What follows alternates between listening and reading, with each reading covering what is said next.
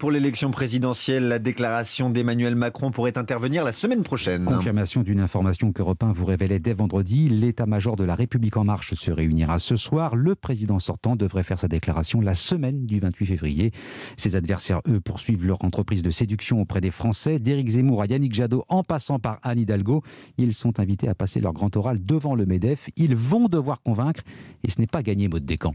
En effet, qu'il s'agisse du problème du vieillissement de la population, de la croissance européenne ou encore de l'identité économique de la France, le patron du MEDEF, Geoffroy Roux de Bézieux, dénonçait il y a quelques jours l'absence des grands enjeux économiques dans cette campagne présidentielle.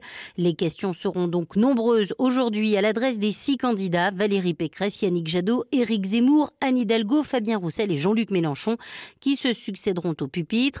Un grand absent aujourd'hui, le chef de l'État, Emmanuel Macron, toujours pas officiellement candidat il échappe donc à l'exercice.